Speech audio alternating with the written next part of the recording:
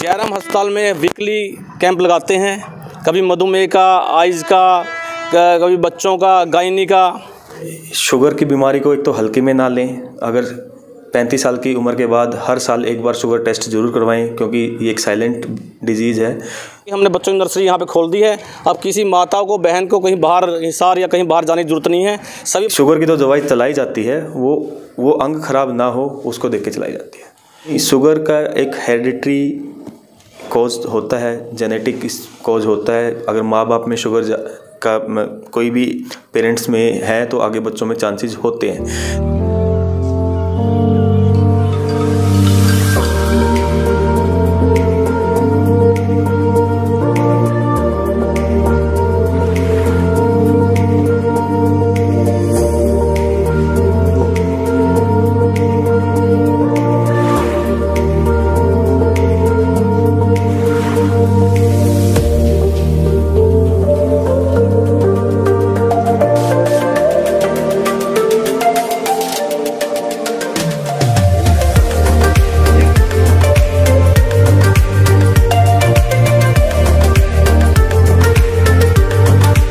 नरवाणी की आवाज़ में एक बार फिर आपका स्वागत है। आज फिर हमारी टीम पहुँची है जयराम हॉस्पिटल नरवाणा के अंदर। आपको बता दी नरवाणा का जो जयराम हॉस्पिटल लगातार सुविधाओं से लैस है और यहाँ पर हर प्रकार की बीमारी का इलाज किया जाता है।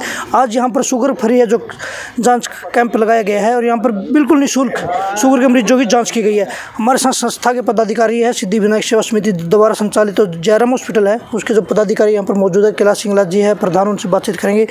क्या कहना होगा? हाँ जी, आज का जो शुगर कैंप लगा इसके बारे में क्या? पहले तो मैं, सबसे पहले तो मैं आपके चैनल के माध्यम से पूरी जनता को नमस्कार। आज का जो कैंप डॉक्टर वीरेंद्र कुंडू जी द्वारा लगाया गया है, इसमें मधुमेह के जो भी पेशेंट है, जो भी मरीज़ आज यहाँ चेक कराने के लिए आएँगे, उनका सबका फ्री चेकअप किया जाएगा और बहुत अच्छे तरीके से ही डॉक्टरों की टीम यहाँ पर आई हुई है।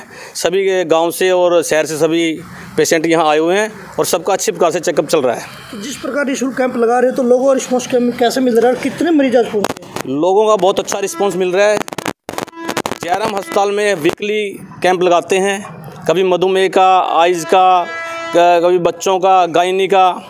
तो इसी प्रकार से इसी श्रृंखला को देखते हुए वीरवार को दिनांक 16 दिसंबर को यहाँ पे आइज़ का कैंप लगाया गया है। और डॉक्टर सम्मन गर्ग जी, जो कि सर्जन हैं, उनके द्वारा यहाँ आज के नाम सोलह तारीख को सेवाएँ दी जाएँगी। और कृपया सभी से मेरा ये भी निवेदन है, जो भी साथी गाँव से या शहर से अपनी आइज़ को चेक करवाना चाहता है। यहाँ आके चेक करवाए। निःशुल्क कैंप है। दवाइयाँ फ्री वितरित की जाएँगी और फ्री चेक किया जाएगा। आपको बता दें कि जयराम हॉस्पिटल में चाइल्ड नर्सरी का भी जो मशीन है वो लगाई गई है। जैसे कि बच्चों को दिक्कत होती नवजात बच्चे थे उनको हिसार ले जाया जाता था और दूसरे शहरों में ले जाया जाता था। वो बहुत सुविधा नरवाणे के अंदर जयराम हॉस्पिटल में आ चुकी है। इसके बारे में भी जानना चाहेंगे क्या मशीन है जो किस प्रकार है और डॉक्टर की टीम कौन सी है? हाँ जी जो चाइल्ड नर्सरी मशीन लगवाई है आपने उसके जी जी। जयराम अस्पताल के अंदर जो सिद्धि विनायक सेवा समिति द्वारा संचालित है, सभी सदस्यों के प्रयास से यहाँ पे बच्चों की नर्सरी का उद्घाटन अभी एक हफ़्ता पहले किया था, जिसमें श्री हमारे माननीय मुख्य अतिथि श्री तेजवंत राय जी गोयल थे।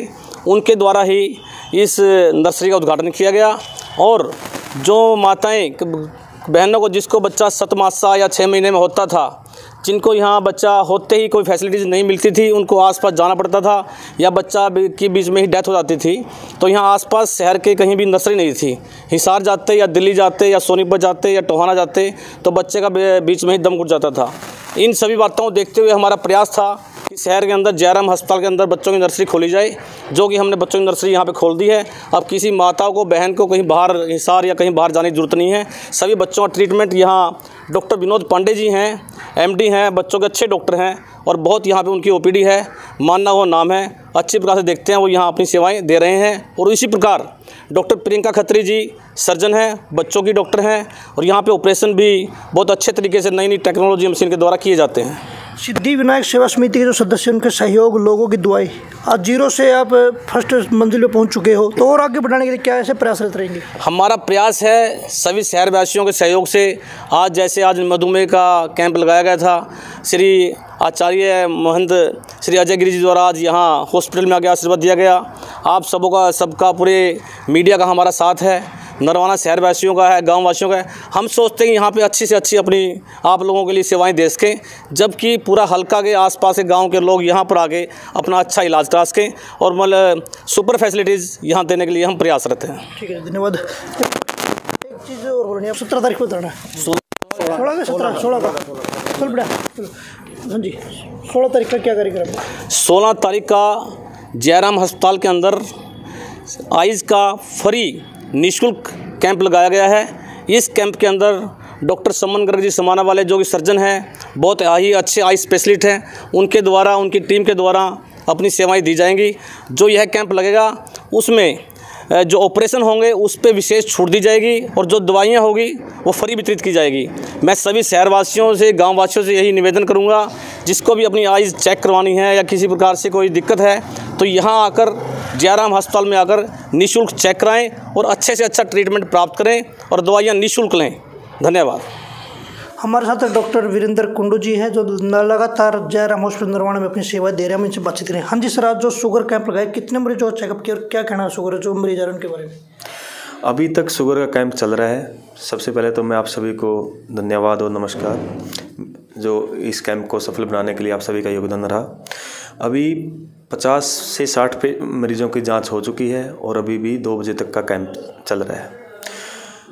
मोस्टली इसमें ऐसे मरीज़ आ रहे हैं जो शुगर के ऊपर ज़्यादा ध्यान नहीं देते हैं। उनको लगता है क्योंकि शुगर एक ऐसी बीमारी है जिसमें इमीडिएटली एकदम से जैसे हार्ट अटैक के मरीज़ हैं, दो दिन में ही जीवन का ज़िंदा रहना और या फिर मौत का खतरा बना रहता है। इसमें ऐसा नहीं है। ये एक लंबी क्रोनिक बीमारी है।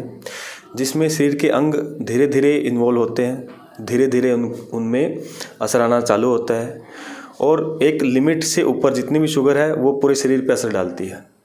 इसमें मेनली गुर्दा और आँखें में शुगर जाती है और विद टाइम गुर्दा ख़राब होने के चांसेस रहते हैं विद टाइम आँखें ख़राब होने के चांसेस रहते हैं। तो इसलिए इनका कंट्रोल करना काफ़ी ज़रूरी है। आगे वाले समय को ध्यान में रखते हुए। आज से अगर किसी को शुगर डायग्नोज हुई है, आज तो ये मान के चलो कि उसको शुगर हो सकती है दस साल पहले से हो।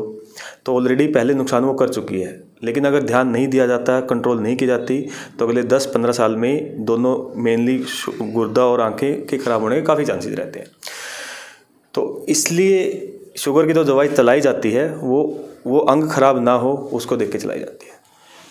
जैसे ही देखते हैं मैं शुगर बढ़ती है जो मीठा खाना छोड़ देता है। कई को दिक्कत होती है शुगर कम होती है उनकी। तो उनके लिए क्या कहना चाहिए? शुगर कम अगर कोई शुगर का पेशेंट है और उसमें शुगर कम हो रही है तो उसका मेन कारण होता है कि पेशेंट इंसुलिन पे होता है। इंसुलिन को ले लिया खाना नहीं खाया या डोज ज़्यादा ले ली या फिर एक पर्टिकुलर टाइम से ज़्यादा इंसुलिन ले लिया और आपने डिले कर दिया दो तीन घंटे। तो उस केस में शुगर कम हो, हो सकती है। तो सर क्या उनको मीठा ज़्यादा खाना चाहिए कम?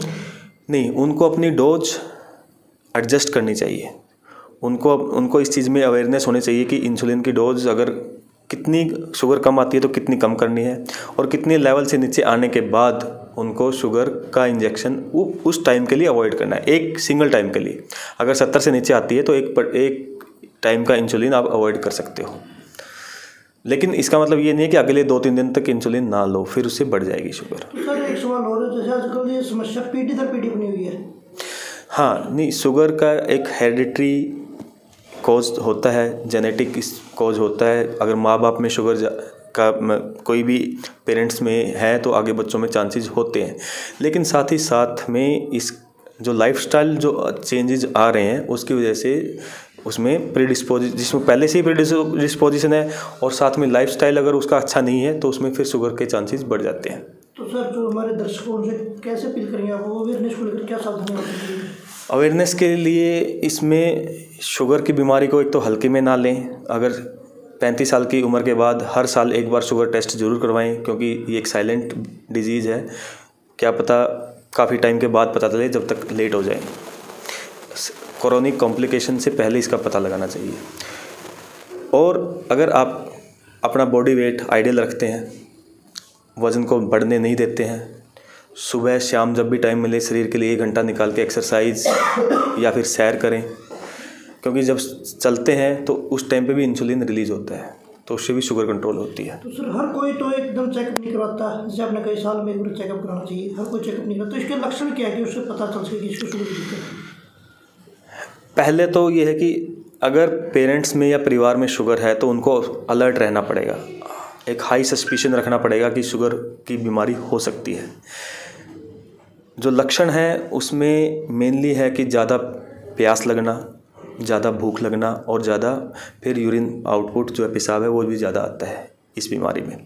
इसके अलावा वज़न बढ़ भी सकता है, वज़न बिल्कुल कम भी हो सकता है। दोनों चीज़ें, एक कमज़ोरी, जो जनरलाइज वीकनेस है लिथार्जी जिसमें मतलब कुछ भी आप चलोगे तो थोड़ा बहुत सांस वगैरह फूल सकता है तो ऐसी चीज़ें हो सकती है। या फिर हाथ और पाँव में नंबनेस चींटियाँ जैसे चलना ठीक है इस टाइप के सिम्टम्स आ सकते हैं।